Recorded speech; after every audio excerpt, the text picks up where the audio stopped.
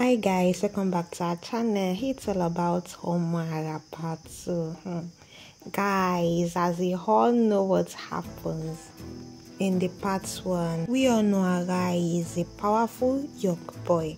Like a powerful boy which is living with Obatide, you know. So he's the helper, like he was the one that helped around his grandmother since they have nowhere to stay and again because Ara helped him. Hmm, guys, do you think Ara is going to win Fatoki? That's the herbalist. I think yes, is going to win him because Fatoki is just you know supporting evil.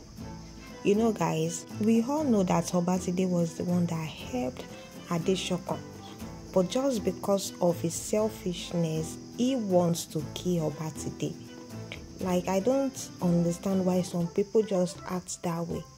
Like you would just want to betray the person that helped you and that was what adeshokan wants to betray obatide by killing him which he asked Fatoki to like help him this and that. But guys i think Ara is going to help obatide like he's going to you know to protect him just because Fatoki isn't doing anything good like he's just doing a an evil thing guys.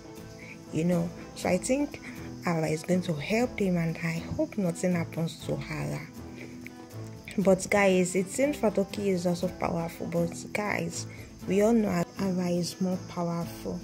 And again guys i really learned a lot in this movie. You know there are some people who do have this kind of mouth.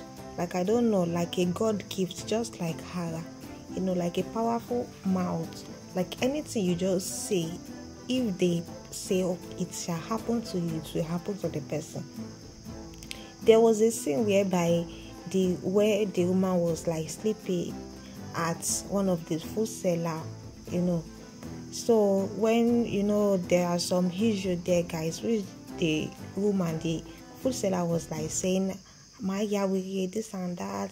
You know, guys, by saying such to yourself, which I was like, uh, Mama, Mama Liva, she said she will go mad. You know, guys, and it happens, she just ran mad. You know, and again, Ara, you know, he's just a small young boy, guys. You might just say that, and you know, so we all know that even he that he even said it, you know, he doesn't, he just said it, and it happens to ah, like she ran mad like seriously we should you know we should just watch what we say. So guys i hope nothing happens to her and allah helped Opa today. And that's all for today guys. And thanks for watching. Don't forget to subscribe like and comment. Bye guys